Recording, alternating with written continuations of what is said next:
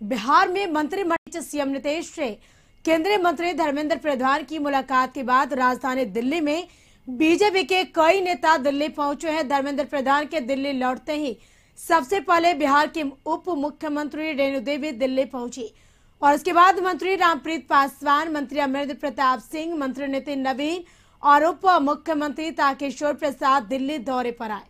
उप मुख्यमंत्री रेणु देवी और मंत्री रामप्रीत पासवान दिल्ली से पटना वापस लौट के, हालाँकि कोई भी, कुछ भी बोलने से इनकार कर रहा है डिप्टी सीएम ताकेश्वर प्रसाद से। जब इसको लेकर पूछा गया तो उन्होंने चुप्पी साध ली। वही दूसरी तरफ़, कृषि मंत्री अमरिंदर प्रताप सिंह ने भी कुछ भी बोलने से इनकार कर दिया।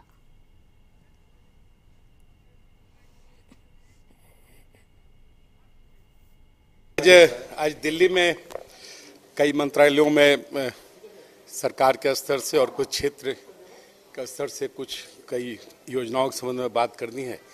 इसलिए हम दिल्ली आए हैं और उसी के लिए आज दिल्ली में। पर डिप्टी सीएम रेणु देवी कल थी परसों थी। आज डिप्टी सीएम तारकिशोर प्रसाद आए हैं आप आए हैं। लगातार बहुत सारे मंत्री दिल्ली आ रहे हैं। कैबिनेट में रिशफल की चर्चा है बिहार में। क्या इसमें सच्चाई है कैबिनेट रिशफल को लेकर के हम लोग नहीं आए हैं। सब अपने अपने विभाग में अपने अपने काम से आए हैं। कैबिनेट रिसफल तो आ, वो पार्टी का काम है हाई कमांड करेगा मुख्यमंत्री करेंगे। उनके विचार विमर्श का विषय है। इसमें मिनिस्टर्स आके क्या करेंगे?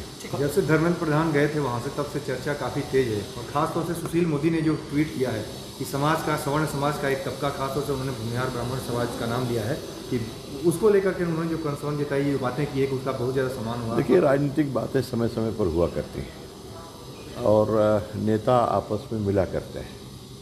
विषय होते हैं और उस समय के जो सामयिक विषय होते हैं उस पर चर्चा होती है।